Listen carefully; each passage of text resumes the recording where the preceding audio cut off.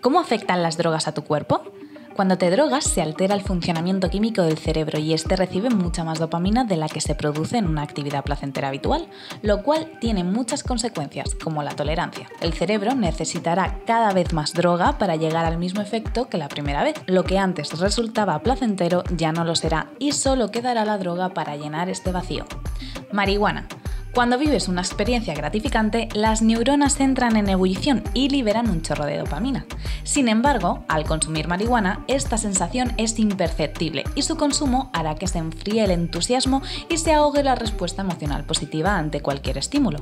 Actúa sobre los receptores de la amígdala, el centro cerebral que regula el miedo, lo cual atenúa las señales neuronales de esta zona generando, por un lado, una peligrosa supresión del miedo y por otra una sobreexcitación que puede acabar en paranoia.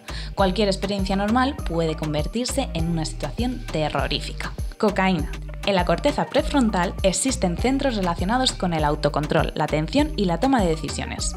Al consumir cocaína, todos ellos se deterioran y disminuyen de tamaño. La llamada corteza cingulada necesaria para tomar decisiones morales y para mostrar empatía reduce su actividad.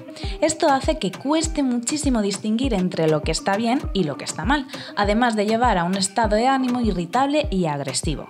El ritmo cardíaco aumenta y la presión arterial puede llevar a convulsiones, derrames cerebrales e incluso incluso ataques mortales. MDMA. Con su consumo aumenta la actividad de dos sustancias químicas, la dopamina y la norepinefrina, lo cual incluye un mayor nivel de energía, temperatura corporal elevada, percepción distorsionada, rechinado involuntario de los dientes y una posterior depresión conocida como la bajona, ya que tras consumir la droga has acabado con las reservas de serotonina que tu cerebro tardará días en volver a producir, dejándote sin energía, triste y apático. Psilocibina. Esta droga que se encuentra en los hongos psilocibios debe sus efectos a que el flujo de la sangre en la zona central del cerebro se reduce, sobre todo en las zonas relacionadas con la conciencia y la identidad personal. El consumo de esta droga nos hace experimentar sensaciones corporales extrañas y un estado completamente alterado del espacio-tiempo, así como alteraciones visuales, colores supersaturados, deformaciones y movimientos.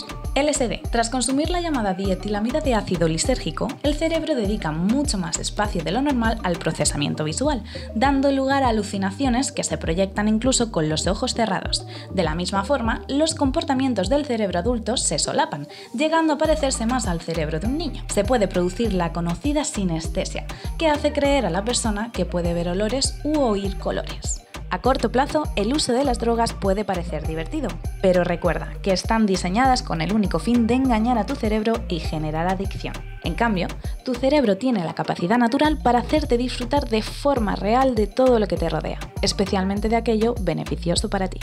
Dale un voto de confianza.